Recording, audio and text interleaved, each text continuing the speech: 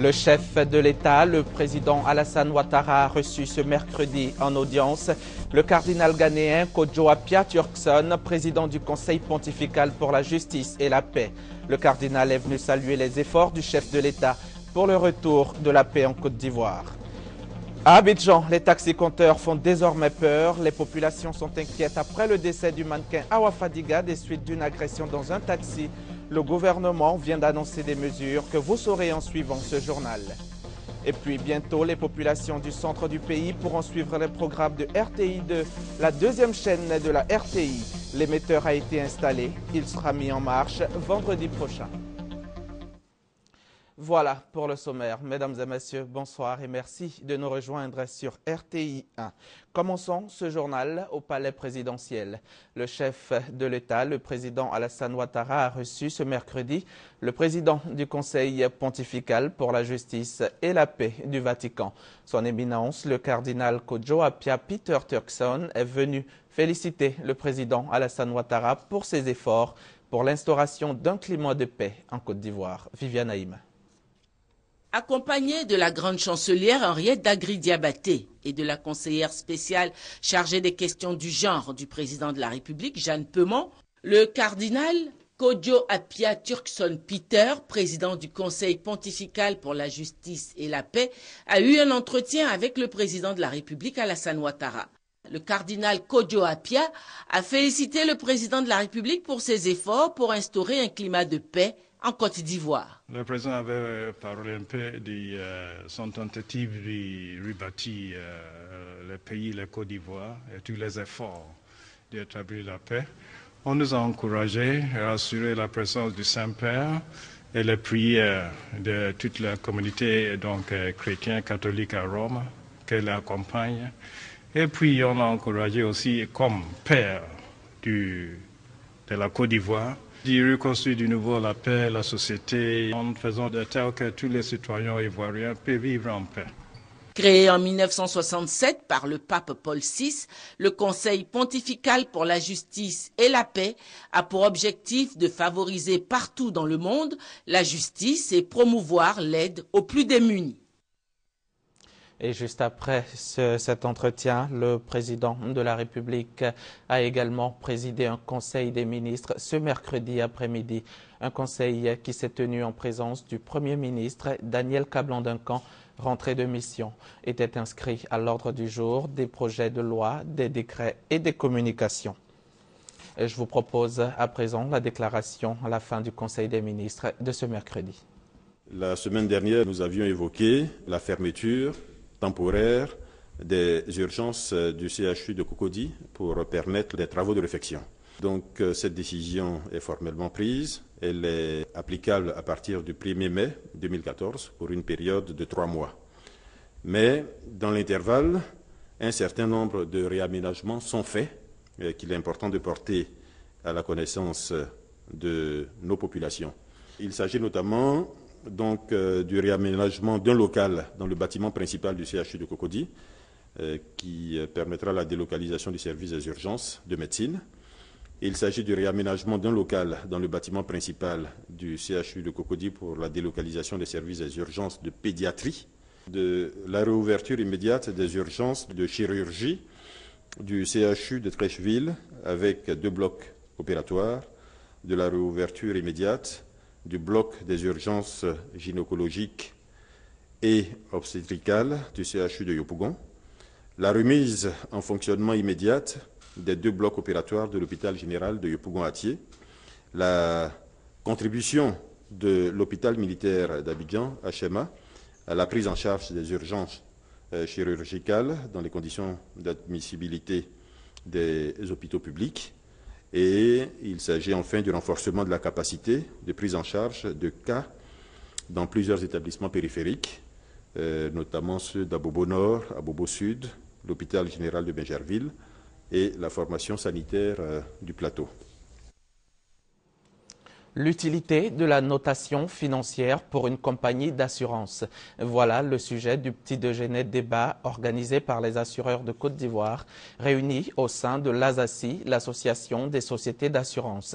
Ils s'informent sur la notation financière. Donc, la rencontre s'est déroulée au siège de l'association à Cocody et Noël Niagno était présent.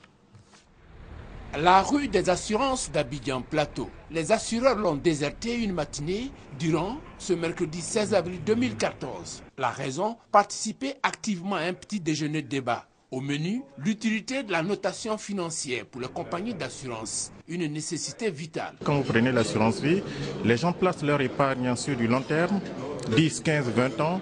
Il faut qu'ils soient sûrs que la société auprès de laquelle ils placent leur épargne sera là au moment de leur retraite, par exemple, pour leur rendre leur argent.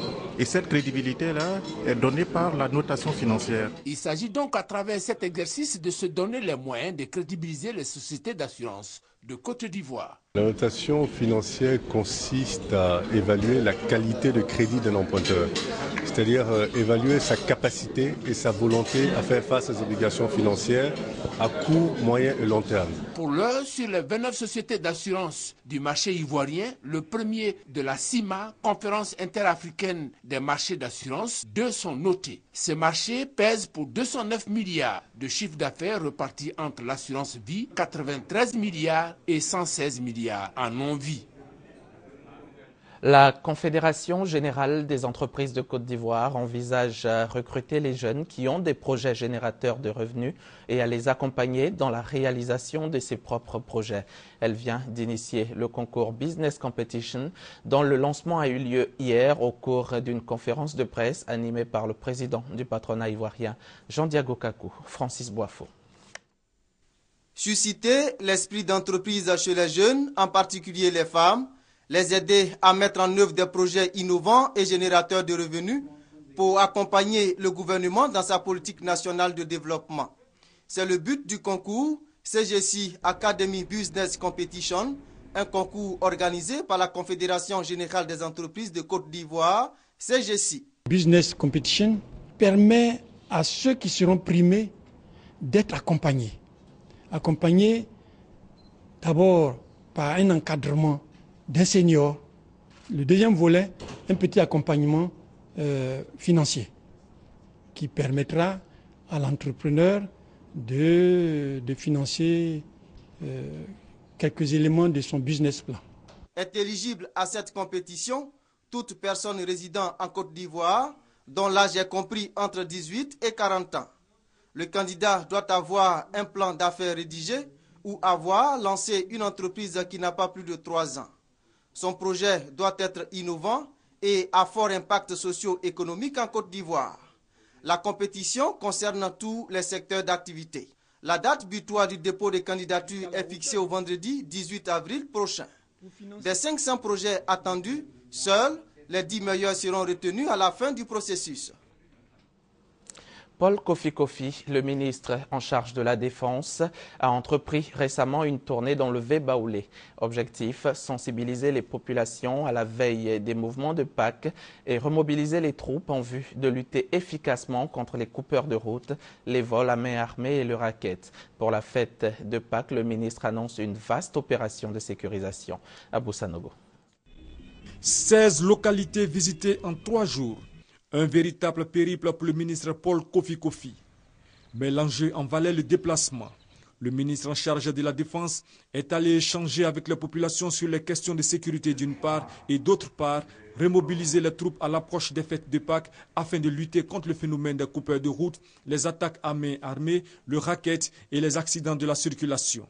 À tout maudit, Dembokro, Mbayakro et Brobo, Paul Kofi Kofi a annoncé une opération de sécurisation de grande envergure. Une opération spéciale pour sécuriser la fête de Pâques, pour que tout le monde puisse voyager et tout le monde puisse fêter, n'est-ce pas, dans, dans la quiétude, notamment les lieux de culte, les tronçons et aussi les, les lieux de festivité.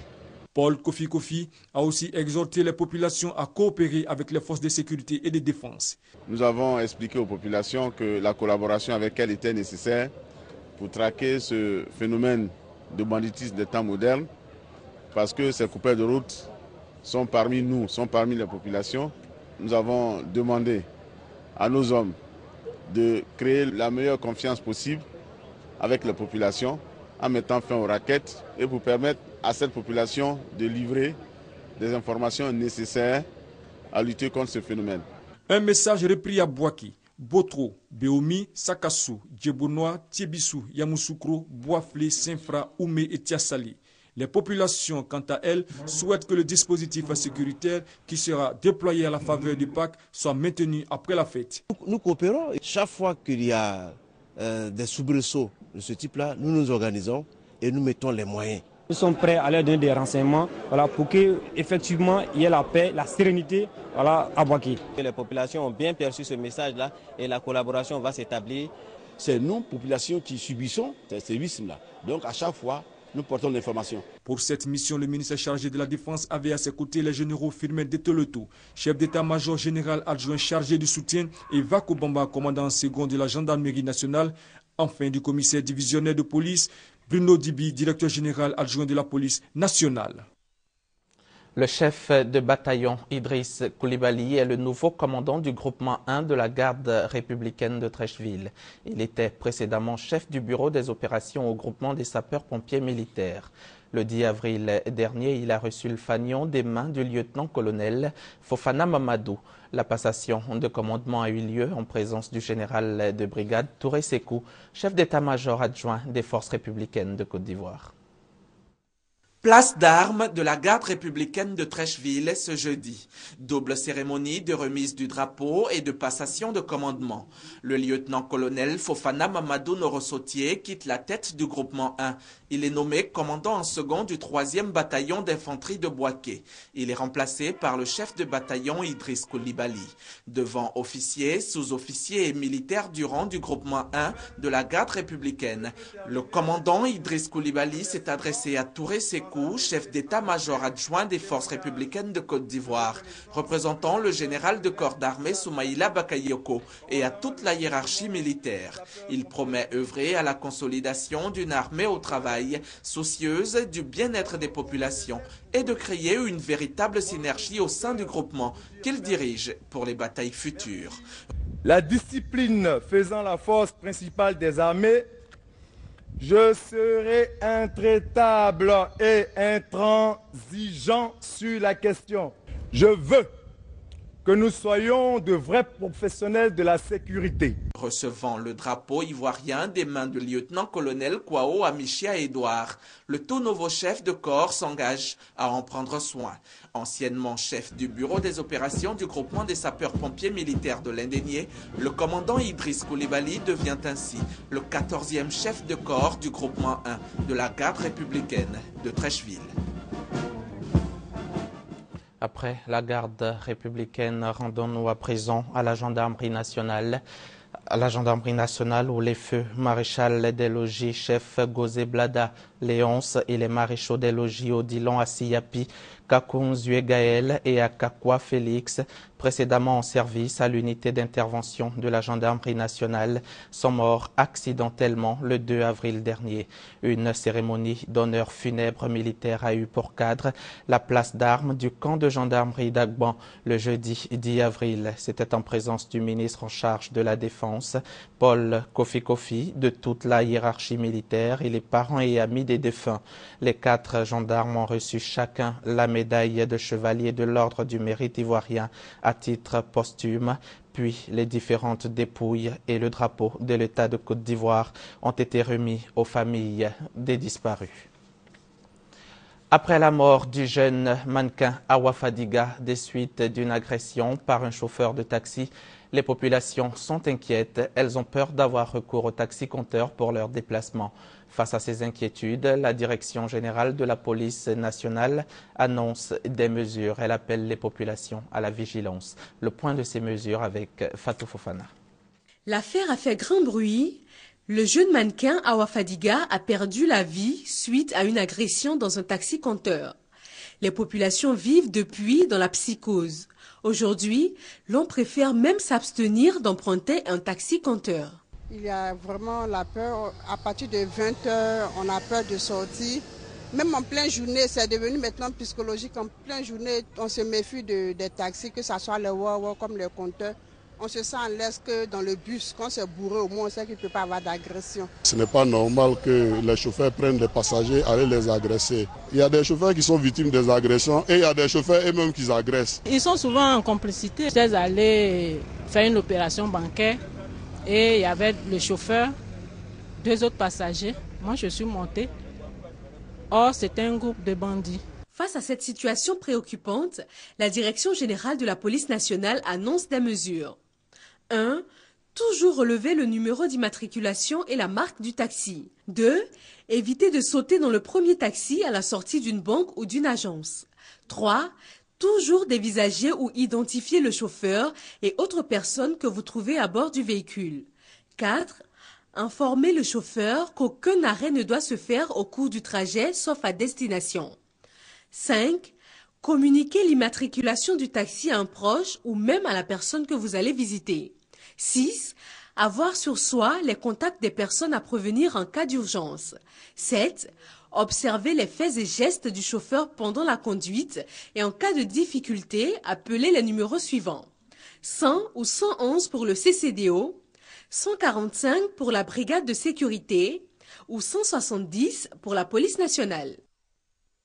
Nous sommes le 16 avril 2014, il y a exactement dix ans, jour pour jour, que le journaliste franco-canadien Guy-André Kiefer était enlevé en Côte d'Ivoire pendant qu'il menait une enquête sur la corruption dans le secteur du cacao. Une décennie après, les circonstances de sa disparition n'ont toujours pas été élucidées. Ce mercredi, Reporters sans frontières qui espère que les nouvelles autorités ivoiriennes feront tout pour que justice soit faite a lancé une campagne d'affichage dans la ville d'Abidjan pour rappeler à la mémoire collective l'affaire Kiefer. Elle va durer deux semaines. Zani Gabriel. Dix ans après la disparition de Guy-André Kiefer, le mystère reste entier. Les coupables courent toujours. Parents et amis continuent de réclamer justice. C'est le sens de la campagne d'affichage lancée ce mercredi par Reporters sans frontières.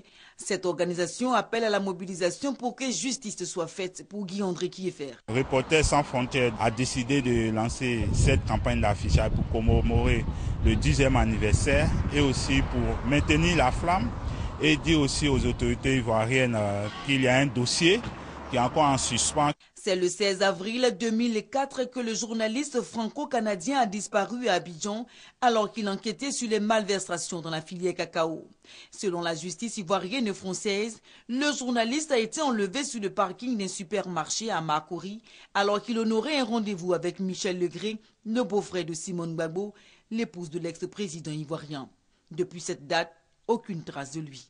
RSF demande au chef de l'État Alassane Ouattara de respecter sa promesse faite en avril 2012 de ne protéger personne.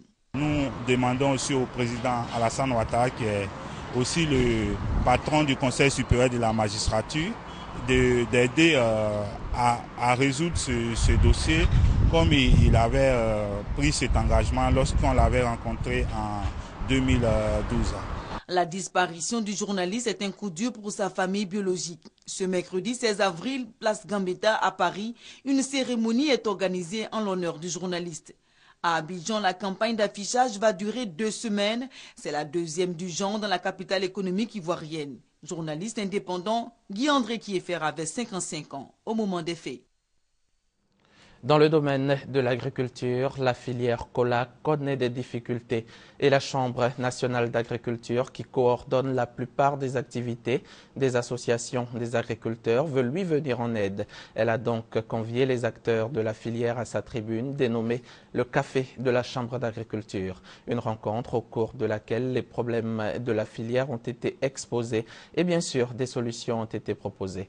Herman Niamien y était pour RTI 1, son compte rendu. Vendu entre 350 francs et 600 francs CFA champ et entre 900 francs et 1300 francs l'exportation, la cola en Côte d'Ivoire est aussi rentable que le café et le cacao. Cependant, la filière est confrontée à de nombreux problèmes. Entre autres, l'absence d'une bonne organisation, du manque de semences dans certaines régions et de l'inexistence d'un test réglementaire. Il, se trouve qu'on nous impose 35 tonnes, par exemple. Or, les camions peuvent aller jusqu'à 70 tonnes. Alors, ce n'est pas notre avantage. Notre problème, nous avons besoin, disons, des, des semences, disons, pour accroître, disons, la quantité, disons, de la production. Au niveau, disons, de, des autres cultures, on leur fait, disons, on leur donne gratuitement. Mais à notre niveau, en fait, on, bon, nous demande d'acheter, donc ça devient un peu plus compliqué. C'est pour aider les acteurs à trouver des solutions à leurs problèmes et surtout pour organiser le secteur que cette tribune intitulée Le Café de la Chambre d'agriculture a été initiée. Au niveau de la filière cola, les problèmes se, situent surtout au niveau de l'organisation. Alors par rapport à ça, nous avons souhaité qu'il y ait quatre commissions qui vont prendre en compte dans un premier temps l'organisation de la filière en matière de production, dans un deuxième temps l'organisation de la commercialisation, ensuite l'organisation de la filière en matière de fiscalité, parce qu'il faut que l'État puisse avoir un droit de regard et prélever aussi quelque chose sur cette filière-là. Un décret va fixer les règles de fonctionnement de cette, de cette filière. Et donc plus personne ne pourra opérer euh, comme il veut dans la filière cola. Nous, au niveau du ministère de l'Agriculture, non seulement nous connaissons l'importance de la filière cola, nous connaissons, nous savons qu'elle est rentable. Avec plus de 150 000 tonnes par an, la Côte d'Ivoire est le premier pays exportateur de cola au monde. Les enseignants s'unissent contre les grossesses en milieu scolaire. Les institutrices de l'inspection de l'enseignement primaire de Koumassi 2, mobilisées contre ce fléau, entendent renforcer les actions menées par le ministère de l'Éducation nationale en vue de son éradication. Hier mardi, elles, elles ont organisé une conférence autour de la question. Franck Quadio. Zéro grossesse en 2015, un objectif à atteindre pour toute la famille du secteur éducatif en Côte d'Ivoire. L'idée Réduire à un nombre nul les 1137 cas de grossesse signalés en 2012-2013 dans le cycle primaire. Et la mutuelle des institutrices de l'inspection primaire de Koumassi 2 en fait son cheval de bataille cette année. La grossesse en soi, ce n'est pas une mauvaise chose. Mais c'est la petite fille qui est en grossesse là, qui est vraiment un danger. Une ambition matérialisée et une conférence pour sensibiliser le thème Les solutions pour éliminer du système scolaire les grossesses précoces. Mais je pense qu'avec euh, les collèges, la construction de collèges de proximité ou encore de lycées de proximité, cette question, ce fléau-là va trouver une solution. Des solutions préconisées, mais encore faut-il de la bonne volonté. Certaines fillettes ont déjà quelques notions. De ne pas jouer avec des garçons dangereux, de ne pas sortir, de rester à la maison à partir de 19h ou 20h. D'autres se retrouvent enceintes très tôt. Mais la sensibilisation continue. Plus de 5000 cas de grossesse ont été enregistrés par la tutelle au cours de l'exercice 2012-2013.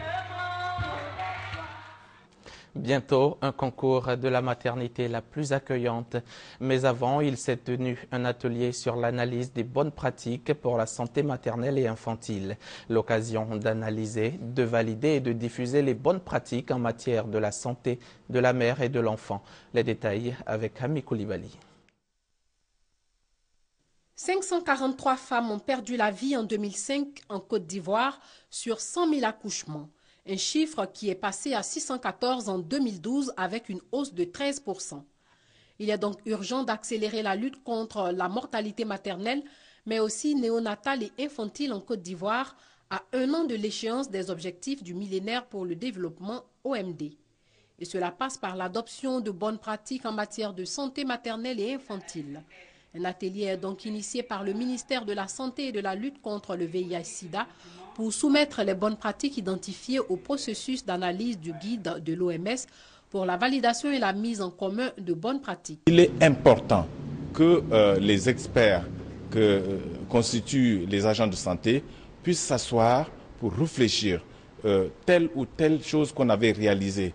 Est-ce que ça réussit?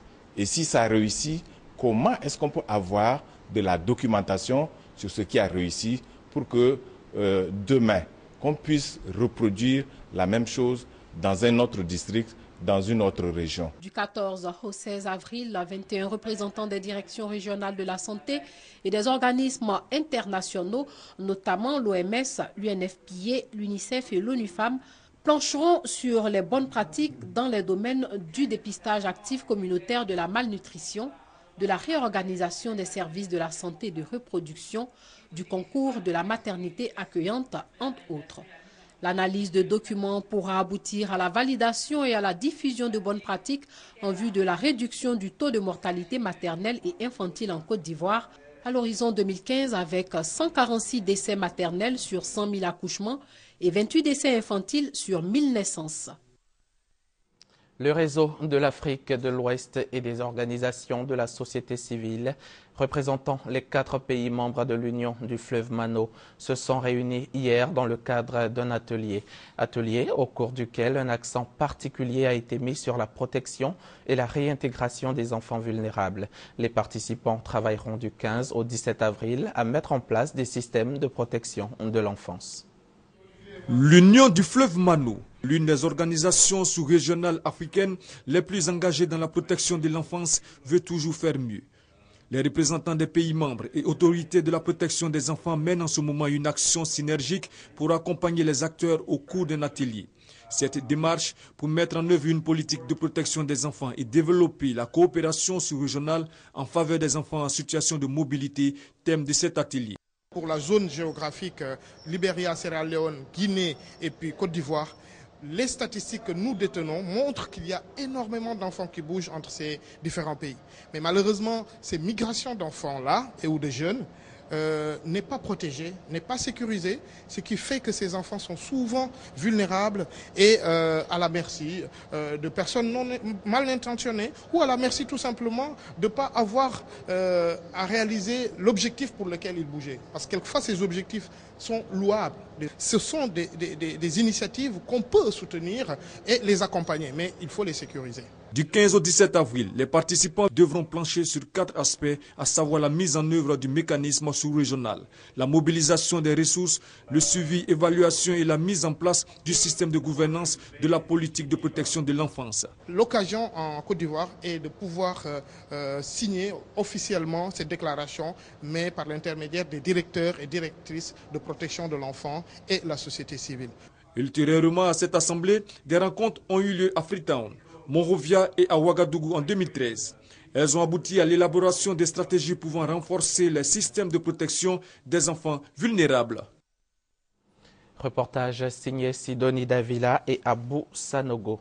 Les associations des secrétaires et assimilés de la RTI ont célébré ce mercredi la journée internationale de la secrétaire. Une conférence débat a été organisée pour l'occasion et le thème choisi était patron, secrétaire, partage des responsabilités et stratégie d'optimisation du rendement. Christelle Menant pour les détails. Elles sont la porte d'entrée de l'entreprise. Les secrétaires, ces ouvrières de l'antichambre, sont aussi les garantes de l'efficacité d'une entreprise. Le 14 avril de chaque année leur est dédié. À la RTI, elles sont une quarantaine à accompagner patrons et patronnes dans leurs tâches quotidiennes. Ce 16 avril, elles ont été honorées par les différentes directions du groupe. Au programme de cette journée de célébration de la secrétaire, une conférence débat sur le thème Patron secrétaire, partage des responsabilités et stratégie d'optimisation du rendement. Prononcée par Sylvie Cocoa, la conférencière s'est adressée à des secrétaires conscientes des enjeux de leur rôle, surtout dans un média de service public. Les secrétaires sont les piliers de l'entreprise, les supports du patron. Nous nous complétons. Je suis dans une maison de médias. Nous rencontrons beaucoup de personnalités, des hommes influents du pays. L'accueil prime. Sans secrétaire, l'entreprise ne peut pas aller de l'avant. Tout un chacun qui vient dans la maison s'adresse d'abord à la secrétaire. Recevoir traiter au quotidien tout ce que nous recevons, tout ce qui est en rapport avec euh, l'activité principale de la RTI. C'est passionnant ce que nous faisons. On souhaiterait avoir peut-être euh, autre chose à faire, c'est-à-dire pas demeurer secrétaire, on souhaiterait évoluer. Nafissa Toudem, Marie-Victoire Trabi, Léonie Assar, Daniel Bailly, des noms que vous n'avez pas coutume d'entendre sur nos ondes, ils sont pourtant portés par des dames qui participent chaque jour à la bonne marche de la radiodiffusion télévision ivoirienne. Radiodiffusion télévision ivoirienne dans RTI2.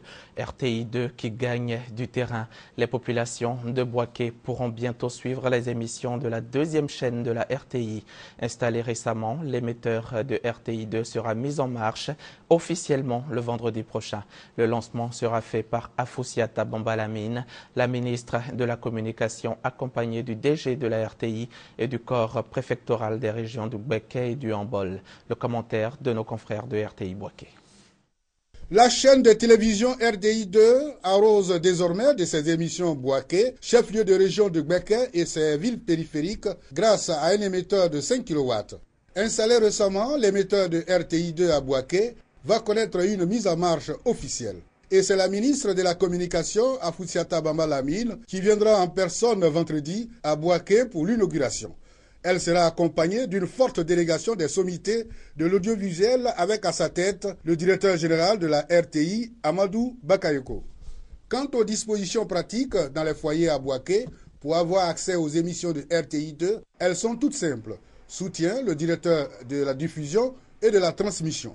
On aura RTI 2 à Boaké, Beomi, Katiola, Obodokro, Botro, Mayakro, Didier Sakasu, Tchebisu. Pour avoir RTI 2, il suffit d'avoir une antenne ordinaire qu'on appelle antenne Yagi, orienter l'antenne vers le centre émetteur. Pour ceux qui ne maîtrisent pas la télécommande, ils peuvent se mettre en recherche automatique et le téléviseur retrouve RTI 2. On peut avoir RTI 2 sur la fréquence 217.25 MHz. L'antenne Yagi, c'est les antennes ordinaires qu'on retrouve au commerce. C'est ce que les téléspectateurs doivent acheter. L'apparition des images de RTI2 dans le Béquet est une volonté du DG de la RTI, Amadou Bakayeko, qui a renforcé des équipements techniques à Boaké. Ce nouvel appareil, nul doute, élargira l'audience de l'entreprise RTI, dont la vision de son directeur général est de donner l'opportunité aux populations de Boaké, deuxième plus grande ville du pays après Abidjan, de recevoir, en plus du programme de RTI 1, toutes les émissions de RTI 2. Avant de terminer ce journal, sachez qu'en Guinée-Bissau, les résultats des élections sont tombés il y a un peu plus d'une heure. Pour la présidentielle, José Marie Ovas du Parti africain pour l'indépendance de la Guinée et du Cap-Vert est arrivé en tête avec 40% des voix. Il affrontera au second tour Nuno Gomes, candidat indépendant qui a obtenu 25% des voix. Pour les législatives, le PAIGC rafle 55 sièges contre 41 pour le Parti de la Rénovation sociale. Demain, le point avec Michel Digré, notre envoyé spécial en Guinée-Bissau. Voilà, c'est la fin de ce journal. Merci de l'avoir suivi. Bonne soirée sur RTI.